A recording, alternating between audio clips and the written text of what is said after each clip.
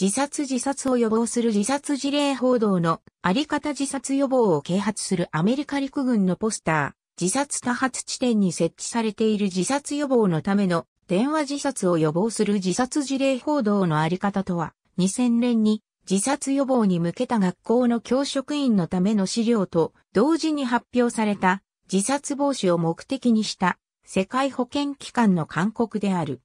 2008年に改訂版として自殺予防メディア関係者のための手引きが公表され、2017年には自殺対策を推進するためにメディア関係者に知ってもらいたい基礎知識2017年最新版が公表された。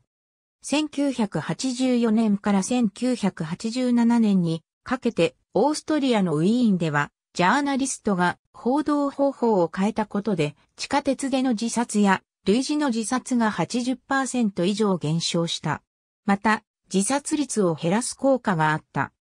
さらに教員やスクールカウンセラーのために作成された自殺予防に向けた学校の教職員のための資料では世界的に15歳から19歳までの年齢層の死因に自殺が多いことを指摘している。報道によって自殺を助長する効果をウェルテル効果、逆に抑制する効果をパパゲーの効果として研究されている。すべきことすべきではないこと。ありがとうございます。